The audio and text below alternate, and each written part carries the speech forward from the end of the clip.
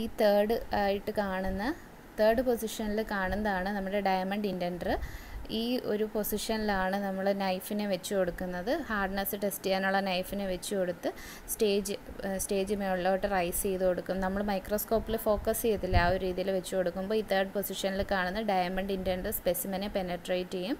ഇതാണ് പെനട്രേറ്റ് ചെയ്യുന്നത്. പെനട്രേറ്റ് ചെയ്ത് അതിന്റെ ഹാർഡ്നെസ്സിനനുസരിച്ചൊരു സ്ക്വയർ അല്ലെങ്കിൽ ഒരു റെക്റ്റാങ്കിൾ പ്രത്യക്ഷപ്പെടും. അപ്പോൾ ഇതിന്റെ ലെങ്ത് ആണ് മെഷർ ചെയ്യുന്നത്. അപ്പോൾ Vickers hardness number is equal to ഒരു ഇക്വേഷൻ ഉണ്ട്. Vickers hardness number is equal to one point seven two p divided by d square one point seven two എന്ന് വെച്ചാൽ എക്സ്പെരിമെന്റ് വഴി കണ്ടെത്തിയ ഒരു കോൺസ്റ്റന്റ് ആണ്. വിക്കേഴ്സ് കോൺസ്റ്റന്റ് ആണ് one point seven two into p എന്ന് വെച്ചാൽ നമ്മൾ എടുത്ത നൈഫിന്റെ വെയിറ്റ് ആണ് സ്റ്റാൻഡേർഡ് ലോഡാണ് വെയിറ്റ് നൈഫിന്റെ വെയിറ്റ്. അത് അൻപ അഞ്ചാവാം പത്താവാം ഇരുപതാവാം മാക്സിമം അൻപത് വരെ പോകാൻ പറ്റും.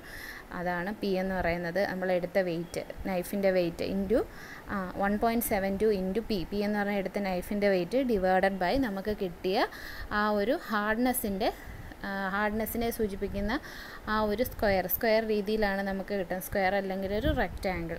അപ്പോൾ അതിന്റെ ഡയഗണൽസിന്റെ ലെങ്ത് അതാണ് ഡി സ്ക്വയർ ഡി എന്ന് പറഞ്ഞാൽ length of the diagonal between the corner of the square intention അല്ലെങ്കിൽ റെക്റ്റാങ്കുലർ ഇന്റൻഷൻ അതിന്റെ സ്ക്വയർ അതാണ് ഡി സ്ക്വയർ അപ്പോൾ ഇക്വേഷൻ എന്ന് പറഞ്ഞാൽ one point seven two P divided by D square D എന്ന് പറഞ്ഞാൽ ലെങ്ത് ഓഫ് ദ ഡയഗണൽസ് ആണ്. നമുക്ക് കിട്ടിയ ആ ഒരു സ്ക്വയർ പിരമിഡ് അല്ലെങ്കിൽ റെക്റ്റാങ്കുലർ ഇന്റൻഷന്റെ ഡയഗണൽസിന്റെ ലെങ്ത് അത് ഇട്ട് കൊടുക്കുമ്പോഴത്തേക്കും വിക്കേഴ്സ് ഹാർഡ്നസ് നമ്പർ നമുക്ക് കിട്ടും.